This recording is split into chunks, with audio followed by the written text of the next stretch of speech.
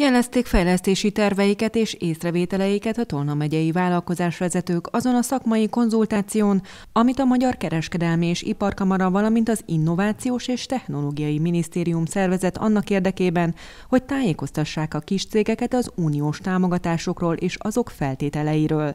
Így megtudhatták, hogy 2021 és 2027 között milyen támogatásokra, milyen uniós forrásokra pályázhatnak annak érdekében, hogy képessé váljanak vállalkozásokat fejleszteni. Több ezer milliárd forintról van szó, amihez könnyebben és gyorsabban lehet majd hozzájutni, mint az előző uniós ciklusban. Lerövidülnek az elbírálási idők, mondta György László gazdaságstratégiáért és szabályozásért felelős államtitkár. Idén is lehet pályázni különböző uniós forrásokra, eszközbeszerzésre, valamint munkahely megőrzésre. A Ginopos, Magyar Hightech és Zöld Pályázat elnevezésű támogatások iránt hatalmas az érdeklődés. Egy tömegpályázat, hogy gyorsan el tudjuk ezeket a pályázatokat bírálni, vagyis a pályázat kiírásától számított három hónapon belül kiállításra kerülnek, kiállítjuk a támogatói okiratokat, és abban a pillanatban hozzá is juthatnak a vállalkozások a pénzeikhez. Ez, erre azt mondják a vállalkozók, hogy e, ezt nagyon köszönik, és ez egy jó módosítás az előző időszakhoz képest.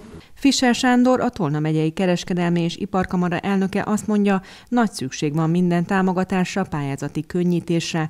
A koronavírus járvány miatt ugyanis Tolna megyében jelenleg az építőipar kereskedelem vendéglátás területén tevékenykedő vállalkozások vannak a legnagyobb bajban. Számos cégnek szeretne beruházni annak érdekében, hogy fel tudjunk készülni a következő időszakra.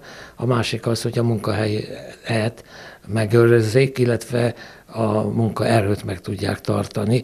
Itt, itt mindenképpen olyan pályázatok kellenek, amely a kisebb létszámú vállalkozásoknak is tud biztosítani lehetőséget. A Magyar Hightech és Zöld Pályázat elnevezésű támogatásokra első körben 50 milliárd forintos keretet adtak meg. Erre az összegre kevesebb, mint egy munkanap alatt 53,7 milliárd forintos igény érkezett.